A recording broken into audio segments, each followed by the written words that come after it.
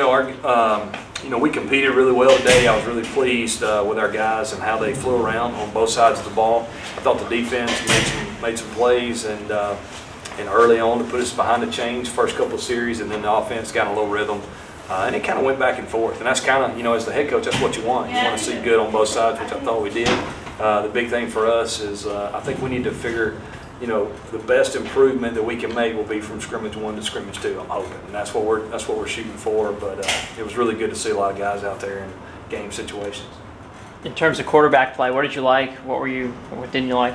You know, uh, it's it's going to be. I need to watch the film probably to remember who was doing what, but because we're rolling pretty fast. But I thought, you know, for the most part, I think Sawyer took care of the ball, which I thought was really good. He made a few plays.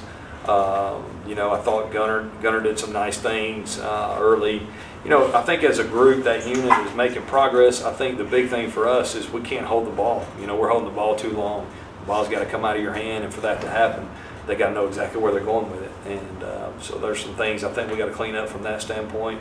But uh, I think they're all making really good progress. Coach, speaking of quarterbacks, what is the status of Kaleb Barker? Now, obviously, he's having a good season last year until he went went down against Georgia Yeah. State. Uh, what, what is he looking like? Yeah, he's now? doing great. We're, we're limiting him this spring to seven on seven, but he's doing great. Um, I think uh, I think he's uh, during seven on seven. You can see flashes. He's in he's in good shape right now. I think he's uh, holding up well physically, and uh, you know just gonna get him to the fall camp before we get him in some team situations.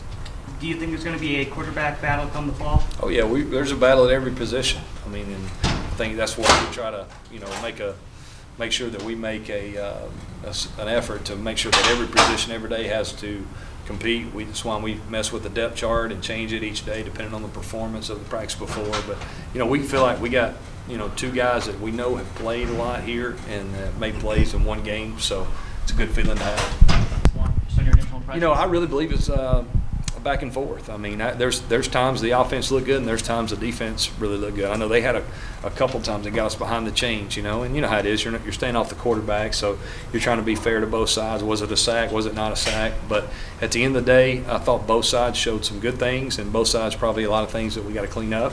And uh, I thought it was a pretty even scrimmage. So just leading up to today, is Yeah. this kind of what you expected from your team, given what you've seen in all these practices? Yeah, I think so. I mean, you know, really wasn't a whole lot of game plan. We were just running uh, base plays that we've been running all spring, and uh, really pleased with uh, with getting through the scrimmage and, and getting some good film in, in uh, game situations. That way, we can really evaluate the guys more.